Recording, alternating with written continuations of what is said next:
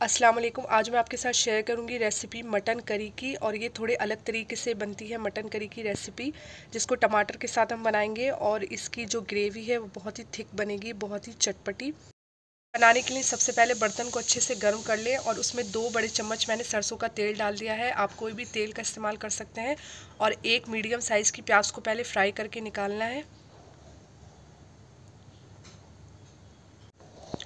तो दो से तीन मिनट तक ये प्याज फ्राई हो जाएगी। इसको ब्राउन कर लें। ज़्यादा इसको जलाना नहीं है, बस हल्का सा इसे ब्राउन करना है और इसे निकाल लें प्याज को। और इसके बाद इसी ऑयल में मैं डाल दूँगी कुछ खड़े मसाले। खड़े मसालों में चार लौंग, चार काली मिर्च और दो हरी इलायची, एक छोटा टुकड़ा दालचीनी का। इसको डालकर इसमें हल्का सा फ्राई कर लें और साथ में ही इसके डाल देंगे मटन। यहाँ पर मैंने वन के जी मटन लिया है। अच्छे से वॉश करने के बाद इसको इसमें फ्राई कर लेंगे।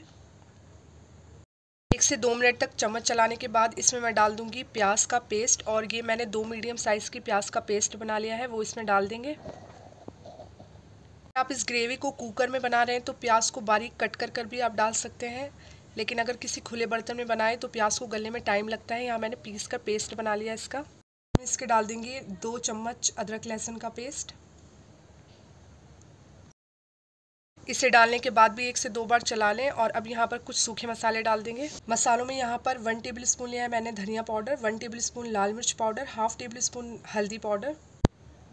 नमक आप अपने टेस्ट के हिसाब से डाल दें। उसके बाद यहाँ पर तीन मीडियम साइज़ के टमाटर का मैंने पेस्ट बना लिया है, वो भी इसमें डाल देंगे।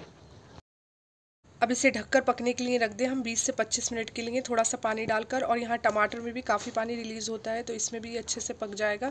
तो इसको कवर करके रख दिया मैंने। 20 मिनट बाद इसको देख लेंगे और गोश्त जब गल जाए इसका तो यहाँ पर सारा पानी ड्राई होने तक इसे भूनना है। जब ऑयल इसका ऊपर आ जाए, तब तक इसे भूनना है। तो इसको पहले हम हाई फ्लेम पर भूनेंगे। जब इसका पानी ड्राई होने लगे तो मीडियम फ्लेम कर दें इसकी।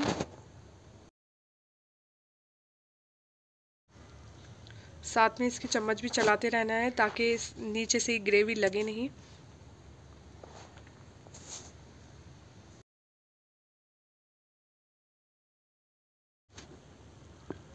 दस मिनट तक मैंने इसको भून लिया है और इसका सारा ऑयल ऊपर आ चुका है। जितना भी पानी है सब ड्राई हो गया है। अगर आपको लगे कि इसमें पानी बहुत कम है तो थोड़ा सा बीच में पानी डालकर इसको भून लें।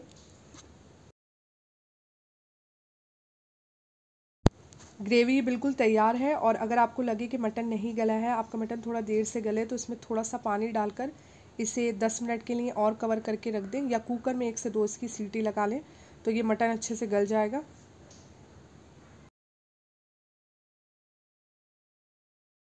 अब यहाँ लास्ट में मैं डाल दूँगी हाफ़ टेबल स्पून गरम मसाला, ये रेडीमेड गरम मसाला है। आप चाहें तो होममेड भी डाल सकते हैं।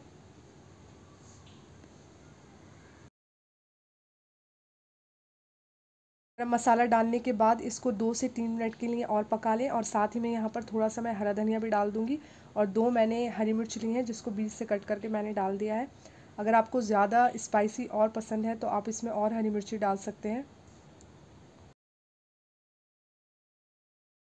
बस ये ग्रेवी बिल्कुल तैयार है। गैस को बंद कर दें। ये मटन करी बहुत ही मज़ेदार और चटपटी बनकर तैयार होती है। इसको आप चपाती के साथ या राइस के साथ सर्व करें।